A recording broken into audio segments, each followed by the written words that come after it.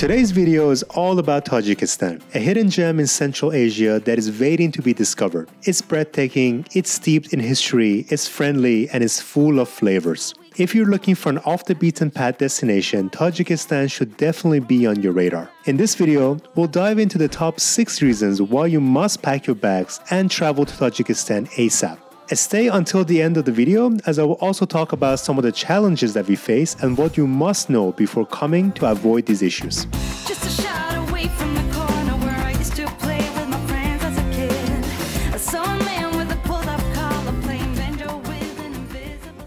To start off the list, we have Dushanbe the charming and vibrant capital city. This city is often overlooked as travelers often come to Tajikistan to go to the main attractions such as Pamir Mountains and don't really spend much time in the capital city. But we did find Dushanbe to be quite interesting and enjoyable. With its mix of modern architecture and Soviet era buildings, Dushanbe offers a unique blend of old and new. So now we are at Haji Yaqub Mosque, which is one of the historical and central mosques here in Dushanbe. And this mosque was founded over 200 years ago here, and it's named after Haji Yaqub, who was the Tajik religious leader who at the time fled over to Afghanistan.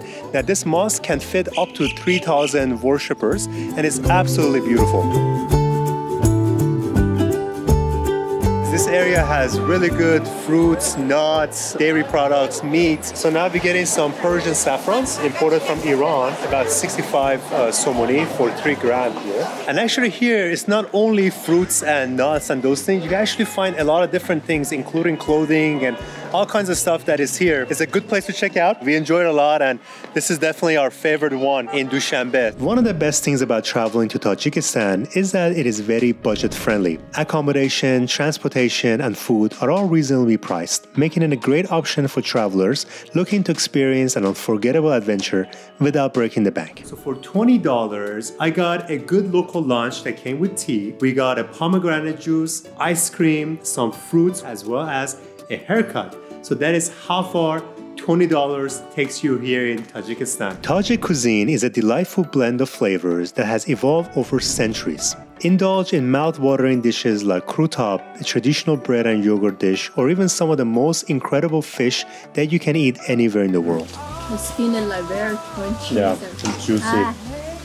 Really nice. The people of Tajikistan are known for their genuine warmth and hospitality. Locals go out of their way to make visitors feel welcome, and it's not uncommon to be invited into a family's home for a cup of tea or some friendly conversation. Tajik people are some of the nicest people that you will meet anywhere in the world. So we got our first Tajikistan haircut. Sure. Welcome to Living List Journey. Please like and comment. Hey! we are waiting you in Tajikistan, Dushanbe.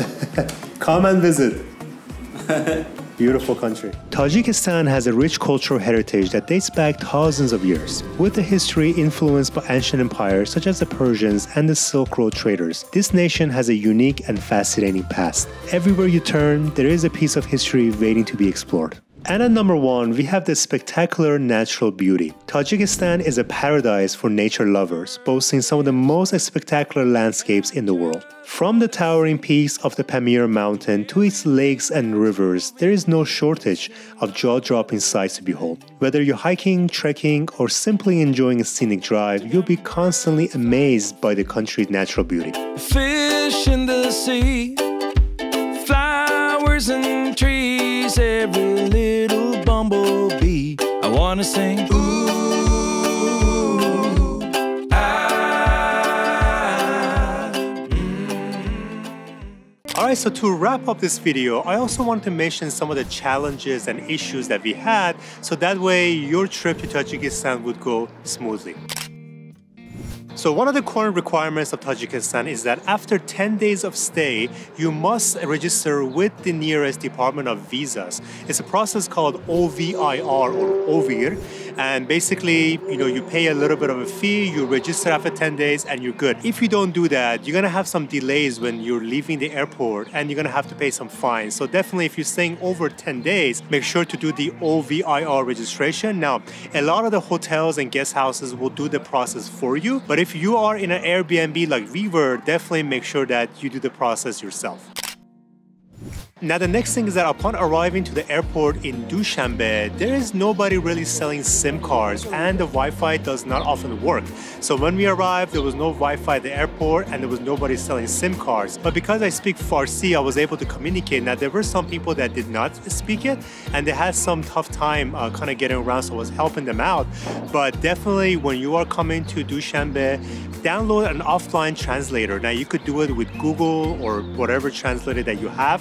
Go go ahead and download that on your phone. That way, when you land, you don't need the internet to be able to communicate. You could use the app and be able to communicate and go where you want to go. And the next thing is that the internet and the data is pretty bad in Tajikistan. It's actually one of the worst in the world. Luckily, when I was coming to Tajikistan, I coordinated with my host and they were able to put together a good internet package for me at the house, which was roughly around 30 to 40 Mbps, and which is pretty good. But anywhere outside, from cafes to restaurants, or even in the city with our phone, the internet is pretty bad. So just be aware of that and uh, make some coordinations, uh, perhaps with your host if you have an Airbnb.